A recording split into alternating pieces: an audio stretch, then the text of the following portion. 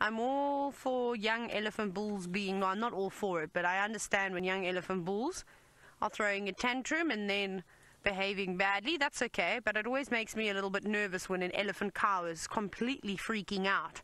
And I'm not sure why. She's obviously got her reasons why. Um, but the rest of the herd seem to be ignoring her. They don't seem to be tolerating her too much. But I did see her just run up to a car and hit the brakes right next to it. So we're going to avoid her. we'll stay with these elephants, which are a lot of calmer and don't seem to mind us at all. She's obviously just got a bee in her bonnet about something and is taking it out on anybody that's willing to hang around.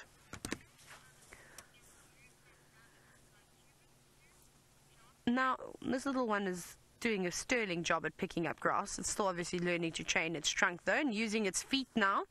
You can tell that it's a little bit much older than those ones we saw earlier, the, the terrible three. Now, John, you were wondering if elephants ever lose their balance and fall over like we as humans do. Most certainly. I've watched elephants tumble time and time again. Yes, little cheeky.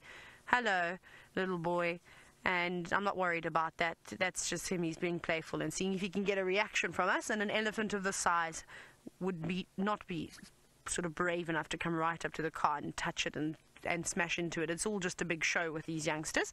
Um, so, so yes, John, and there's actually that video of that newborn elephant that Jamie had the most amazing sighting. Remember, and maybe some of you can share it if you if you have got it. You can hashtag Safari Live, and then John can see. But this elephant actually loses its footing and then tumbles down the side of a bank, and that's not an uncommon sight to see.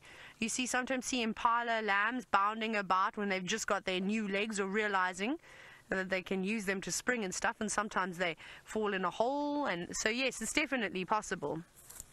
I think I must be one of the clumsiest humans around because I'm always forever tripping and falling over things. I wouldn't be a very good elephant or a giraffe. Maybe a giraffe because it's further from the ground to try and stand up.